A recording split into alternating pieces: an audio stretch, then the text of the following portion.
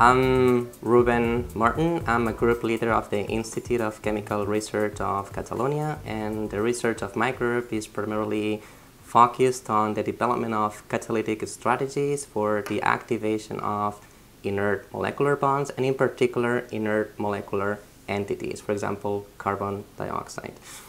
Well, I'm organic chemist by training, and uh, what happens whenever you are organic chemist is that you are all the time fascinated about the way of assembling molecules, and in particular about the creation of new methods that can build up molecular complexity.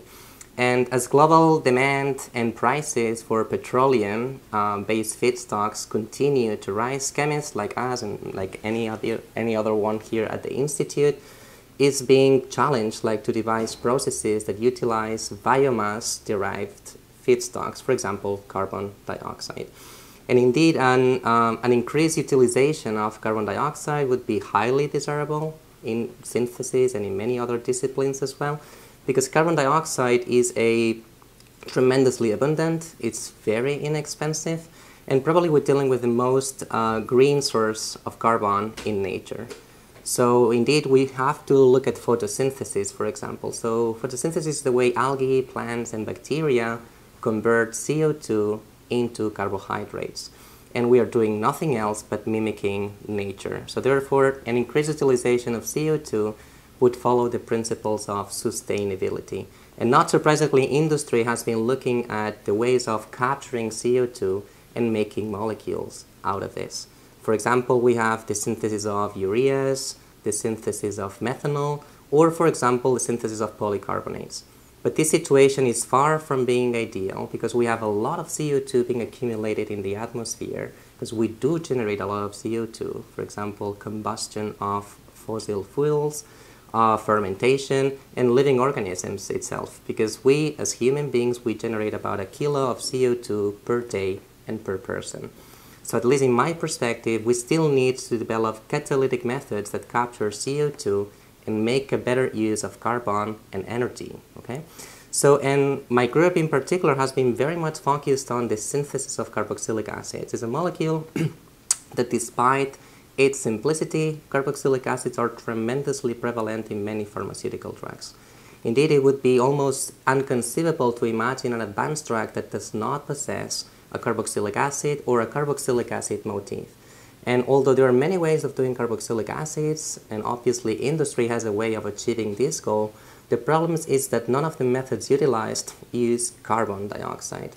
And my group has been focused on that direction, trying to come up with a new and innovative way of doing carboxylic acids from simple CO2. Okay, so I'm going to show you what we do here. So we work with CO2, and so basically what we're doing is capturing CO2 from an atmosphere in, and put it into organic molecules.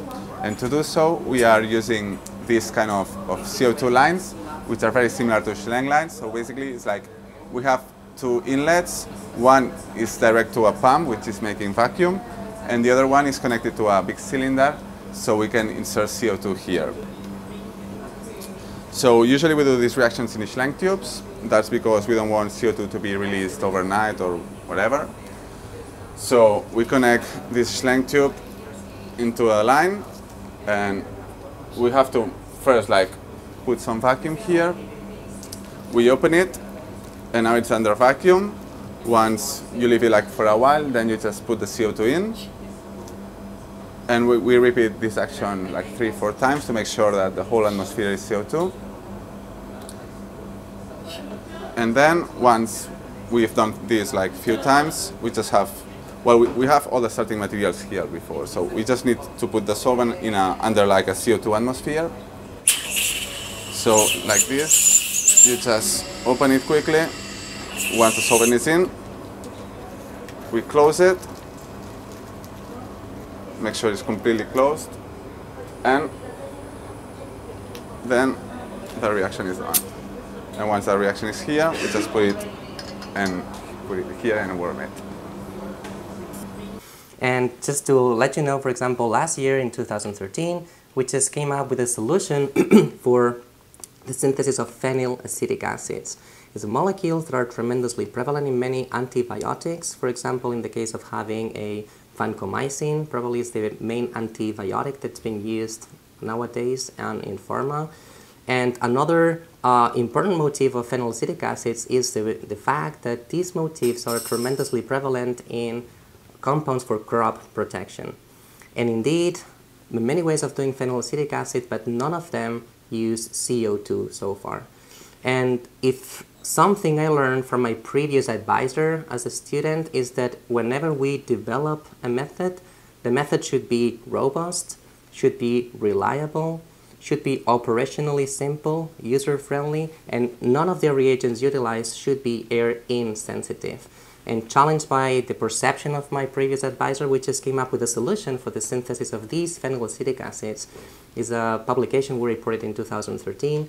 It is a method that utilizes very simple catalyst, cheap, that is able to capture CO2 only with atmospheric pressure of CO2 at only room temperature. So it's a, it's a very powerful method and we truly hope to come up with a better solution for capturing CO2 and making carboxylic acids in a different backbones.